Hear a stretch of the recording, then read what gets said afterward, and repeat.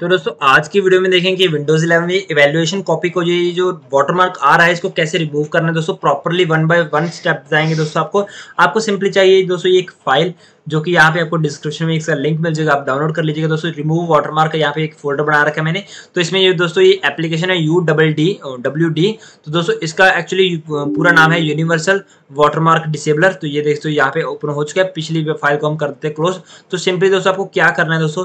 इसको इंस्टॉल पे क्लिक कर देना दोस्तों। इंस्टॉल पे क्लिक करने के बाद यहाँ पे आपको आपको जहाँ पे जो ऑप्शन आएगा you are going to install the untested build तो ये कोई बात नहीं अनटेस्टेड तो यहाँ पे आप येस कर दीजिए दोस्तों। येस करने के बाद आपको कुछ ऐसी स्क्रीन दिख सकती है दोस्तों थोड़ी टाइम के लिए।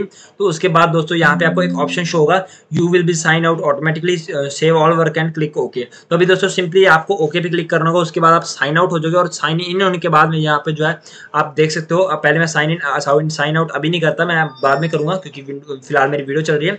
बट ये देखोगे दोस्तों, यहाँ पे आपको एक वो कॉपी तो हट गई है। ये एक और कॉपी आ चुकी है दोस्तों मतलब ये छोटी एक लाइन बढ़ चुकी है।